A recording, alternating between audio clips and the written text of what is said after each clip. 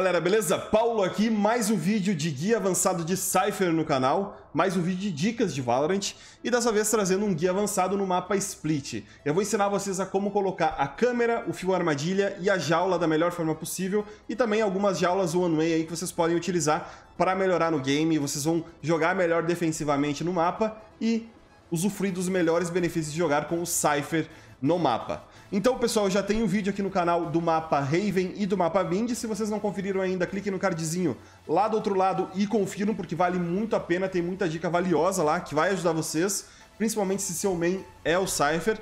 E vamos lá, começando aqui com o Bombsite A, a gente tem algumas câmeras três câmeras mais exatamente que a gente pode utilizar para obter alguma vantagem. A primeira delas, galera, vai ser bem no topo desse prédio aqui, ó. Em cima dessa linha que cruza, a gente vai colocar ela ali no cantinho e quando a gente acessa a câmera, a gente consegue ver uma pequena parcela se alguém está passando lá para a rampa. Então essa pequena parcela é justamente para ninguém conseguir destruir ela rapidamente de uma posição segura, tá? Muito difícil o cara parar ali naquela fresta minúscula e mirar a fim de destruir a nossa câmera ali em cima, né? Por exemplo aqui, o cara teria que parar para destruir essa câmera nessa posição. É muito difícil isso acontecer. Então ela é uma câmera boa para você ter uma boa noção de se alguém está passando rampa e também se alguém tá aqui dentro do bombe, por exemplo, pro retake depois, você consegue ver o, o fundo do bombe, você consegue ver um pedaço dessa parte, aqui embaixo da passarela e tudo mais. Então, tem muita posição útil aqui com essa câmera que você pode acabar tendo benefício. As próximas duas câmeras já são mais tranquilas, a gente vai vir aqui bem na pontinha, e aqui na pontinha a gente vai colocar, ó, entre, reparem que a câmera vem pra frente, vai pra trás, vem pra frente, vai pra trás. A gente vai colocar ela lá atrás, galera, e ela fica escondidinha ali atrás das grades, ó. A gente consegue marcar o pessoal que tá entrando lá, bem tranquilo, e vai funcionar super bem. E a próxima câmera aqui em cima dessa, dessa parte de telhado aqui com vidro, né? A gente pula e coloca ela lá em cima, ela vai ficar mais para cima ainda e vai funcionar da mesma forma. Então, conforme sua câmera for sendo destruída no bombsite A, você pode ir modificando e trocando. E é importante também você ter autonomia de falar pro seu time, ó, Alguém troca de posição comigo, você tá marcando A, você vai para B. Por que isso, galera? O Cypher é um personagem muito importante para você segurar a bomb solo. Então, se você faz essa jogada de mudar a bomb site durante a mesma partida, você vai enganar o adversário. Muitas vezes ele vai tentar bolar uma estratégia para fugir do Cypher inimigo, né? Para não ter armadilha, para não ter câmera. E você pode utilizar isso a seu favor, né? É só você mexer com a cabeça do adversário. Puxando a câmera, a gente tem agora os fios armadilha aqui para o bombsite A. O primeiro deles que eu vou mostrar, e para mim é o melhor de todos, a gente vai colocar aqui na pontinha aqui, galera. Reparem, a gente pega e cruza aqui, beleza? E por que, que eu acho esse aqui o melhor de todos? Dificilmente o cara vai vir aqui no shield para destruir ele ele vai acabar entrando dentro do bombe e um momento ou outro ele vai acabar passando por esse fio. No momento que ele passa pelo fio, você pode estar jogando do céu ou até mesmo numa posição aqui para baixo e acabar aí se beneficiando por conta disso, tá? Agora pensando num kit completo, qual seria a melhor alternativa além desse fio aqui? Eu gostaria de fazer, eu gosto de fazer, um fiozinho aqui nessa parte da rampa. Por que nessa parte? Porque aqui essa parede para inteira. Então você pode esperar simplesmente o cara ser ativado pelo fio e mata ele varado aqui pela parede. Vai funcionar super bem. Você também pode colocar um fio mais perto aqui. Dá pra fazer esse combinho aqui, né? Foi adicionado pela primeira, matou. Espera o cara ser adicionado pela segunda, matou mais um, tá? Funciona super bem. Agora, se você quer focar aqui na parte de baixo, também dá pra fazer um fio assim. Vai funcionar também. E um fio muito útil também, galera. Um combinho se você quiser jogar dentro do bomb site, é fazer na diagonal aqui, ó. Tem que ser bem nessas pontinhas da diagonal aqui, tá, galera? Senão não vai funcionar. Ele fica inclinado e do outro lado também dá pra fazer a mesma coisa. Ele também fica inclinado. E aí você pode simplesmente jogar uma jaula aqui, joga uma jaula aqui e joga dessa posição aqui do cotovelo. Cuidado aqui, ativou. Jaula ativada. Você consegue matar o pessoal entrando dentro do bomb pra plantar no default. Default que é o plant mais comum é aqui ou aqui atrás. Tá bem, pessoal? Jaulas, algumas outras jaulas é que vocês podem fazer é simplesmente colocar uma aqui, ou até mesmo uma aqui assim. Jaula Ela funciona super bem, ó. Você vai conseguir usufruir dela para matar os adversários. E aqui em cima a gente também pode fazer uma jaulinha, tanto nessa parte aqui, quanto mais para entrada aqui Jaula também, que vai funcionar. Eu prefiro essa aqui, você pode até mesmo tentar marotar os caras assim, ó. O cara pode acabar sendo pego desprevenido. Como, por exemplo, também desse lado aqui, né? Marcar desse lado. Você vai pegar alguns caras desprevenidos de vez em quando fazendo essas jogadas. Não é sempre, mas pode funcionar. Essas aqui foram os setups para o bomb site A. Agora vamos lá passar para o bomb site B, que, na minha opinião, é o bomb mais forte para se jogar de Cypher nesse mapa. A gente tem aqui direto no céu, galera, algumas opções de fio armadilha que a gente pode colocar, como, por exemplo, no topo aqui da escada, vai funcionar super bem. A gente pode colocar na diagonal aqui, também vai funcionar super bem. E a gente pode colocar essa horizontal aqui, que também vai funcionar super bem. Por que, que essas são boas? A gente pode simplesmente deixar a B livre, entre aspas, com a nossa câmera, às vezes com algum fio, e jogar o outro fio aqui no céu e marcar aqui do céu, ou até mesmo deixar os fios aqui no céu para ajudar seu amigo que está marcando no céu. Que é bem importante mesmo, galera, porque essa aqui é uma das áreas mais contestadas do mapa Split. O mapa Split ele tem justamente esse nome para fazer split tanto para o bomb site A quanto para o bomb site B. Então, você ajudando os seus companheiros nessas posições vai ajudar muito a você conseguir um placar bom para conseguir ir bem na partida, tá? Esses aqui são os fios da parte do céu. Vamos para as câmeras agora aqui no bomb site. A gente tem a melhor delas, que é, vindo bem aqui na pontinha perto da caixa, a gente pode mirar ali em cima, onde tem aqueles botijões, e jogar a nossa câmera ali. Essa aqui é a melhor porque, galera, quando a gente está vindo aqui da garagem, o cara só consegue ver a câmera nessa posição.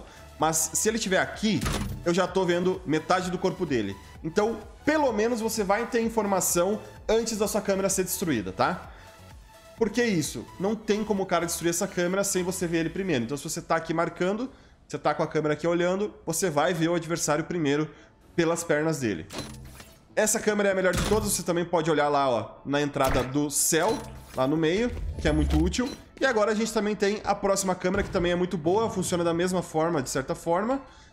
Da mesma forma, de certa forma, que é colocando aqui em cima. A gente pode colocar o mais pra cima que quiser, a gente coloca aqui, a gente tem a visão tanto ali do céu, quanto aqui do pessoal entrando na B. E essa câmera aqui, galera, diferente da outra, praticamente nunca vai ser destruída, a não ser que um cara do céu venha e destrua ela. Porque o cara que tá entrando aqui no Bomb Site B, ele tem vários lugares para olhar, ele tem muita coisa para se preocupar do que simplesmente mirar lá para cima, lá na torre, para tentar destruir a câmera. Então, ela vai funcionar super bem. Agora, uma outra estratégia para caso você esteja jogando do céu, é você colocar um fio armadilha nessa posição. Vai funcionar super bem porque geralmente vem alguém aqui para esse lado, tá? Para tentar avançar e tudo mais, ele pode passar por esse fio, você pode simplesmente varar ou aparecer e matar o adversário pelo raio-x. A gente também tem aqui, para caso você queira jogar defensivamente dentro do bomb site, um fio armadilha mais ou menos nessa posição, vai funcionar super bem com um combo aqui no meio da escada.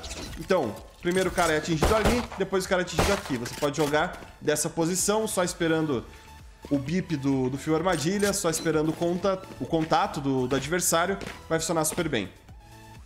Mais um fio armadilha, galera, que a gente pode usar é na lata de lixo aqui. Nessa posição aqui, ó, a gente consegue alinhar na diagonal para cá, ou seja, fugindo um pouco do clássico que muita gente coloca aqui, né? Você consegue aproveitar melhor esse fio aqui. Então você pode tanto usar esse aqui, quanto usar um assim, que vai ser mais difícil de ser destruído. Porém, galera, tenham muito cuidado com Sova, que geralmente joga uma flecha tabelada que cai aqui, que vem cá, vai destruir seu fio. A Raze geralmente joga uma granada nessa posição, vai destruir seu fio também. Então, eu não usaria nessas posições. Eu ficaria com um setup dentro do bombe recuado ou um setup completo aqui no céu. Eu acho que é mais útil, tá? E ali para a parte da garagem eu usaria as jaulas One Way. Jaulas One Way, vamos lá. A gente tem três jaulas aqui para mostrar para vocês. E a primeira delas é encostando aqui nessa parte da madeira, bem no cantinho. A gente vai mirar, galera, bem na divisa desse cano aqui, que tem a madeira mais escura e a clara. A gente vai mirar bem aqui entre cano, entre madeira escura e entre a clara e vai simplesmente jogar nossa jaulinha. Essa jaula, ela é muito boa para caso você Jaula jogue ativada. de perto aqui, ó. Você consegue ver as pernas dos adversários sem que ele te veja, tá? Então isso é muito útil. Agora as próximas jaulas. A gente tem uma que é muito boa também, a melhor de todas na minha opinião, que é encostando aqui na lata de lixo, a gente vai mirar para cima e mais ou menos a qualquer ponto a gente pode simplesmente botar a mira aqui bem na parte do meio da madeirinha, tá? Tem esse, esse risco vertical aqui da madeira, a gente coloca a mira bem no meio dela em qualquer parte aqui a gente vai, vai funcionar certinho. Só jogar, ela vai bater e vai cair ali em cima. Caindo ali em cima, a gente espera um pouco para ativar. Tipo, pegou a informação, tem cara ali, ativa. Você pode fazer isso aqui, ó, e pegar o pessoal lá do outro lado. É uma one way, mas o cara também consegue te ver, tá, galera? Não é 100% one way, que você, só você consegue ver. Eu, por exemplo, já matei um adversário que estava tentando fazer essa jogada em mim. Foi bem tranquilo, na minha opinião mas em nível mais baixo vai funcionar super bem. Agora, uma sim que você consegue ver o adversário sem ele te ver é essa aqui. A gente vai alinhar na ponta aqui da caixa vermelha, bem na pontinha. A gente vai mirar numa pequena mancha que tem aqui na parada, ó. Temos uma mancha mais clarinha aqui, ó. Aliás, desculpa. Temos a madeira dessa cor, a gente tem uma mancha mais escura dessa cor aqui, e essa mancha um pouco mais clara que a escura, mas mais escura que a madeira a gente tem essa parte. A gente vai mirar mais ou menos nessa posição. Treinem essa parte aqui, tá, pessoal? Que não é bem simples de fazer, você pode acabar errando. A sua jaula vai cair ali em cima, e aí sim, você pode, por exemplo, ativar a jaula, jaula e aí você consegue ver os pés dos adversários entrando dentro do bomb site, sendo que ele não vai conseguir ver nada nunca. Então ela é muito útil por conta disso. Essa sim, só você vê e o adversário não. Galera, os setups do Cypher no mapa Split são esses. Caso vocês queiram jogar meio, eu não recomendo, então já tira isso da cabeça. Tem alguma câmera aqui que você pode usar para tentar pegar uma informação, como por exemplo uma câmerazinha aqui, para deixar escondida, só para ficar olhando o pessoal chegando. Também tem uma câmera aqui dentro que você pode usar, mais ou menos aqui assim. Você consegue ver, por exemplo, só as pernas do adversário passando aqui, ó.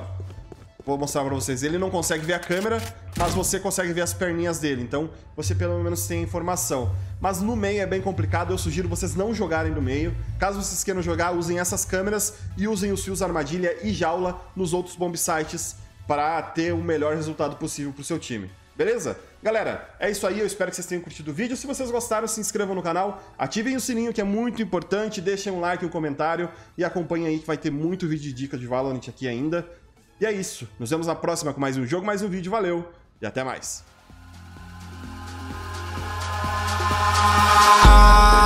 In the sky, gazing far into the night. I raise my hand to the fire, but it's no use, cause you can't stop it from shining through. It's true.